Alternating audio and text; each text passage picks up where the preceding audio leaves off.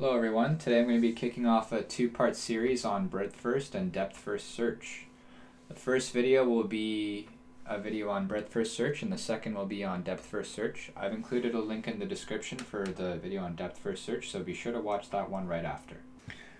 Like most people, I prefer to go through examples when I learn, so I'm going to be going over an example of BFS today.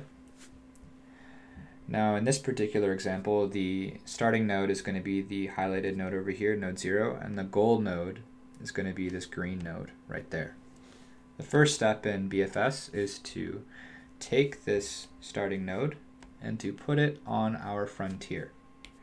Now the frontier is a list of nodes that are the potential current nodes that we could select for the next iteration of our algorithm. Essentially, they're just a list of successor nodes of the nodes that we've already visited. So right off the bat, we're going to define our frontier as an array. Now you can use whatever data structure you like when defining your queue, but I prefer to use a looped array to define my queue. And when you're using a looped array, you need to define the front of your uh, queue by defining this front index. And when your your frontier queue is empty, the rear index is actually going to be behind the front index. index. And that's when we know our frontier is empty, when the rear index is uh, behind the front index. So when we first enqueue this initial node here, we need to increment our rear index here, like this then add our value right there, like so. Now our frontier has one element. Now to get the current node, which is the node that we will be expanding, we need to dequeue our frontier. So to do that, in the context of breadth first search, we take our front index and we slide it forward. And then we take this element and we pop it out. And we set it to our current node. So our current node is now 0. And we're going to color the graph accordingly. So as you can see, this current node is now orange. And that means that it's our current node. So then we take our current node and we expand it. And what that means is we go to the successors of this node, and that just means the nodes that are adjacent to the current node. And then we ask what I like to call the big question. The big question is, is this node the goal node? Well, you know, the goal node is actually node 6, so no, it's not the goal node. Therefore, since it's not the goal node, we need to take this node and we need to enqueue it into our frontier. So we're going to do just that. Now remember to enqueue, we take our rear pointer, we slide it forward like that. And then we add the value into the array.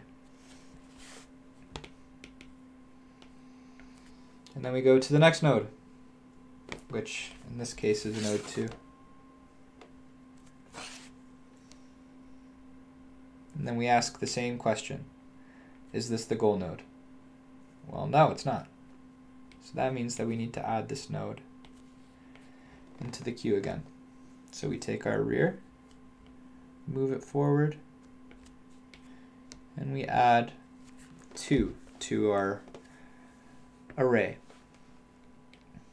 And then we continue expanding node 0. So we need to go to node 4 here because it's next on the chopping block. Pop the question, is this node the goal node? Nope. So we need to add it to our frontier. So we increment our rear here, and then insert 4 into the array, just like that. Now we expand the next node here, just node 5. Is this node the goal node? Nope. Put it into the frontier. Increment the rear node. Write number five. And continue to the last one that we need to expand, which happens to be node 3.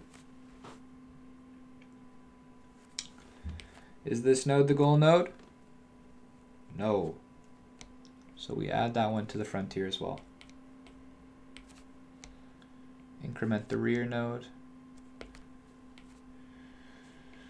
And we write in number 3.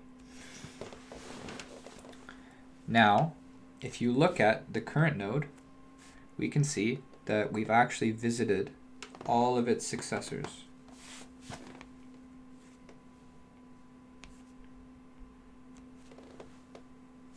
Therefore, this node is a dead node, and we can mark it as so. Now, once we mark a node as a dead node, we will never, ever, ever visit this node again because it's dead and we don't care about it anymore. So instead, since this node is the dead node, or a dead node now, we have no more current node because node 0 has already been explored. Now we need to look at our frontier, which has these elements, and we need to decide which of these elements is going to be our new current node. Now this is the primary difference between BFS and DFS, which is what we're going to talk about in the next video. In BFS,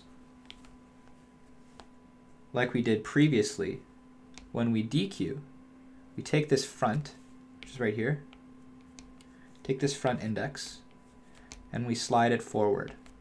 And then we pop this guy into the current node. In DFS, depth first search, it's different. Instead of taking this, we take this rear index and we slide it backwards. So instead of popping this guy out, we would pop this guy out.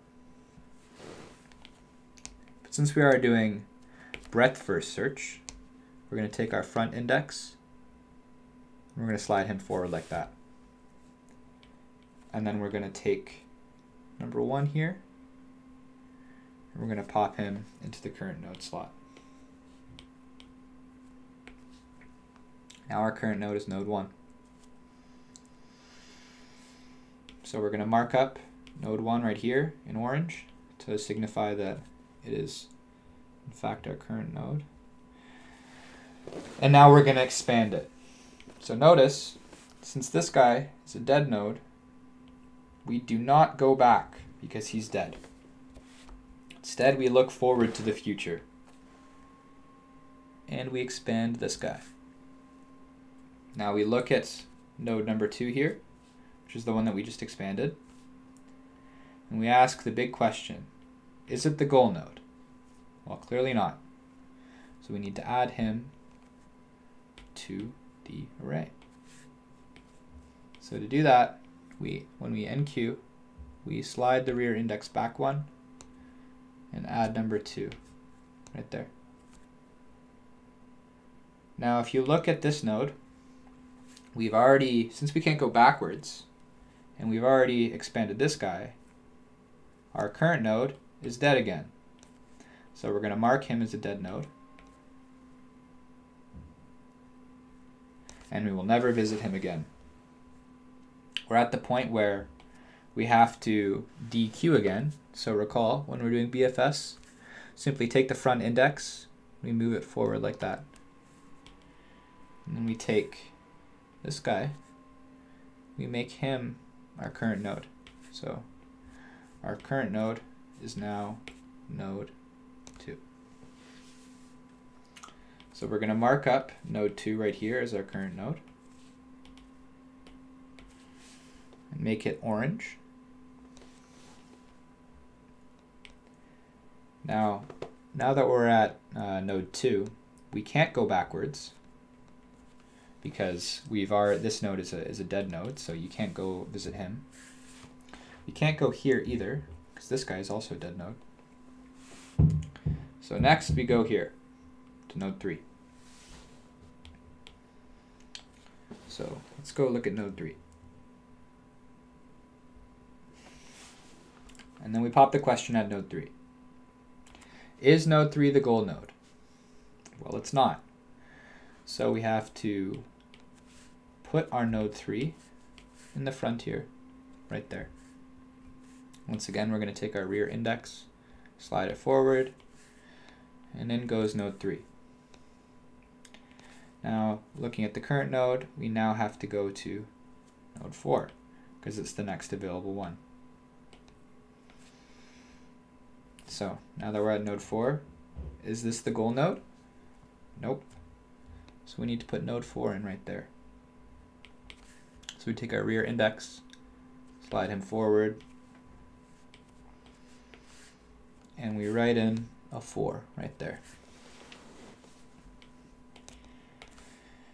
Now the last one that we can look at is this node 6 here. So now we're looking at node 6. Is this the goal index? Yes, it is the goal index. Therefore, our algorithm terminates and we have successfully found a path between the start node and the end node. Thanks so much for watching. Be sure to check out my video on depth first search. There's a link for it in the description. I've also got videos on my channel on MATLAB demos for both DFS and BFS. They're pretty cool, so feel free to check them out. Thanks again.